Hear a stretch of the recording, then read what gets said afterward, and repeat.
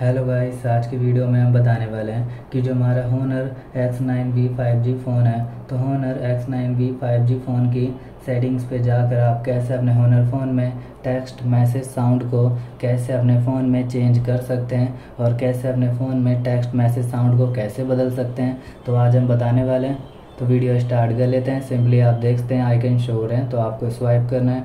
Swipe करते ही all icon open हो जाएँगे, जिसमें से सेटिंग्स पे जाना है। क्लिक करते ही फ़ोन सेटिंग से ओपन हो जाएगी। तो आप कैसे टेक्स्ट मैसेज साउंड को चेंज कैसे कर सकते हैं और कैसे कर पाएँगे? तो सिंपली आप देखते हैं कि फ़ोन सेटिंग शो हो रही है।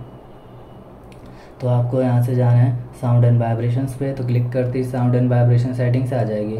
फिर आपको टेक्स्ट मैसेज साउंड सेटिंग्स पे जाना है।